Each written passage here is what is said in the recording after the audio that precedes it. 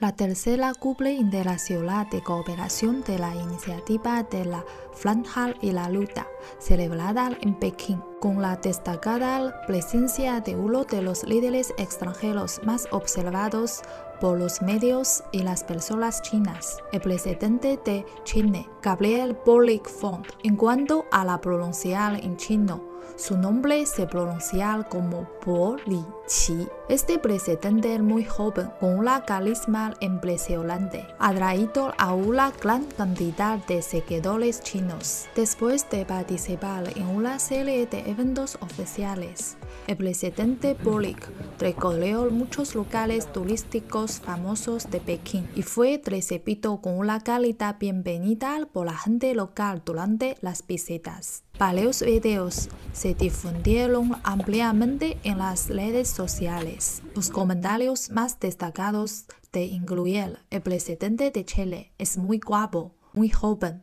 y la pregunta de si las cerezas chilenas que exportamos a China podrían ser más baratas.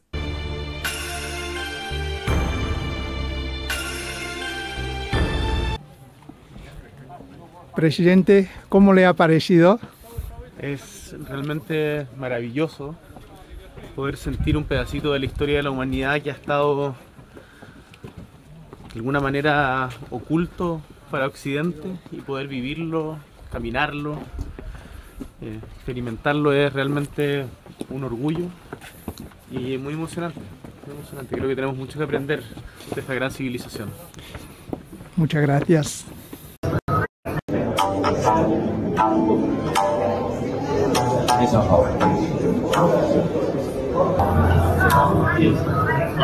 Usted, usted tiene talento.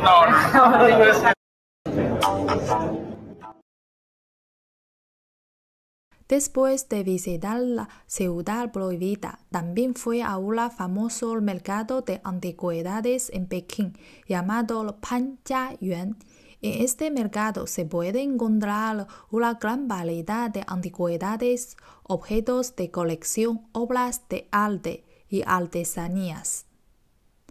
Panjiayuan no solo es un buen lugar para ir de compras, sino también un lugar para conocer la cultura y la historia tradicional china.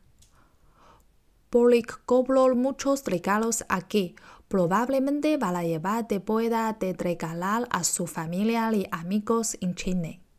En China hay un antiguo dicho que dice, un amigo que pierde de lejos no es una alergia. El presidente de China que acaba de visitar China realmente vino desde lejos.